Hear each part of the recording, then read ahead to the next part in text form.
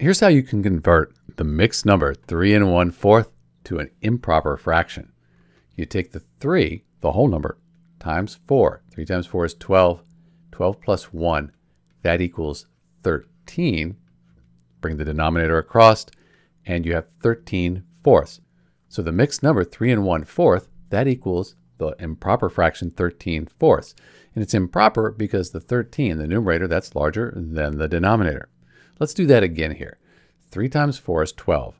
12 plus 1, that's 13. That's our numerator. Bring the denominator across. That's 4, and you're done. These numbers are equivalent here. 3 and 1 fourth, that's equal to 13 fourths. They have the same value. They're just represented differently. And we can even check our work here because 4 goes into 13. 4 times 3, that's 12. So we have 4 times 3 is 12 with 1 left over. Bring the 4 across. 3 and 1 fourth. That's what we had before. So that's it. This is Dr. B converting 3 and 1 fourth to an improper fraction. The answer is 13 fourths. Thanks for watching.